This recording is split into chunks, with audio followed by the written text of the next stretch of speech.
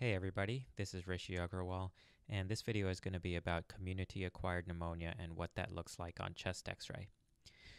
So we, before we start, I just wanted to define two terms here. The first is consolidation, and consolidation just means an increased area of lung density that causes obscuration of the underlying lung architecture. So in this example over here, there's an area of increased opacity and it is so dense that it obscures the underlying vessels.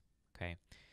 Ground glass opacity is a bit different. It's an area of increased density of lung, but it's not so dense that it obscures the underlying vessels. So this is an area of ground glass opacity.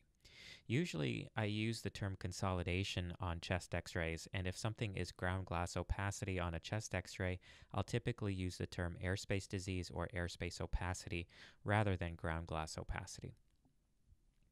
Both of these terms can also be used in the setting of CT. So this is a consolidation on CT. Notice that you lose the underlying vessels and the bronchi. You do see some air bronchograms, whereas this is ground glass opacity. So there's an overall just increased density of the lung, but you still have the preservation of the lung architecture. So when we talk about pneumonia on radiology, there's three different morphologies that pneumonia can take on a chest radiograph. Lobar pneumonia, in which a whole lobe or a large part of a lobe is completely consolidated. Bronchopneumonia, in which a smaller area of lung shows consolidation or ground glass opacity, and it's usually patchy in distribution. And then interstitial pneumonia, in which you'll have relatively uniform, symmetric um, reticulation or linear opacity, and this can progress to consolidation. And there are prototypical etiologies or bugs that can cause each of these different patterns, but there's so much overlap among the three that it's not really useful to memorize what kind, what bug causes what kind of pneumonia. Except for this third category, interstitial pneumonia, because if you see an interstitial pneumonia pattern, then I usually bring up the possibility of mycoplasma or viral pneumonia, or if the patient is immunocompromised, then possibly PJP pneumonia. So, when most people start out with radiology, they tend to think of pneumonia as looking like lobar pneumonia. But in fact, in real practice, most cases of pneumonia that you see coming in, in the from the community are going to be bronchopneumonia, and then probably the second most are going to be the interstitial pneumonia. With lobar pneumonia, I, I don't see that very commonly um, from patients just out in the community coming into the emergency room or to their doctor's office. So here's one example of a patient with pneumonia. See if you can figure out where it is. So this is the patient after treatment. Notice that you lose the left heart border in this example.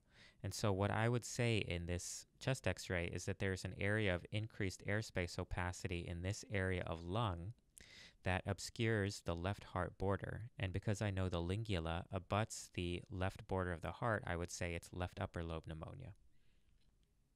Here's another example.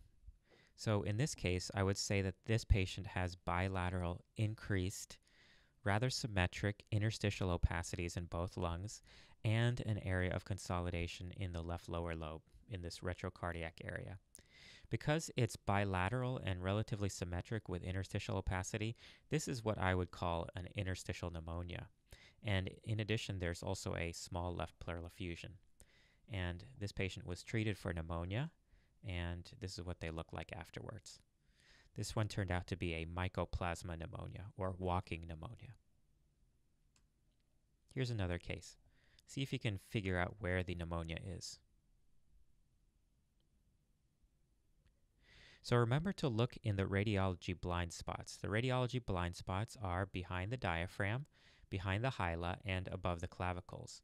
So in this case, there is a pneumonia in the right lower lobe, and it's easy to miss on the frontal view if you're not looking behind the diaphragm. And on the lateral view, it shows up as a spine sign, so an area of the lower thoracic spine that gets denser as you go from superior to inferior. That's the spine sign. How about this one? So the pneumonia is right here. So notice that this person's left hilum is larger, it's a little bit more dense compared to the right. And this one turned out to be a left lower lobe pneumonia. How about this case? So there's actually two areas of pneumonia here. One in the left lower lobe, which you can see through the stomach bubble here and via the spine sign on the lateral view, and another one right here. And I think this is in the right middle lobe on the lateral view because I believe this is the minor fissure, although I'm not completely sure. This could also be in the right upper lobe. How about this case? So here we have obscuration of the left hemidiaphragm, and we have a consolidation that is in the retrocardiac region. Notice on the lateral view, we only see one hemidiaphragm well, and this one is the right hemidiaphragm because we can see it all the way anteriorly. So something is obscuring the left hemidiaphragm, and that is this left lower lobe consolidation. Sometimes pneumonias can be round, and they're no different from other community-acquired pneumonia, other than the fact that it, on a chest x-ray and even on CT, we can confuse these round pneumonias for lung cancers because they have a round appearance and they look like masses. But this one had a clinical history that supported a pneumonia, so we just followed it with CT and it you could see it got smaller on the follow-up.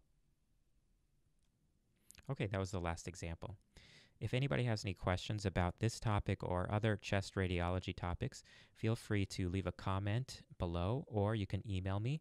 My email address is ragarwal at nm.org. Thanks.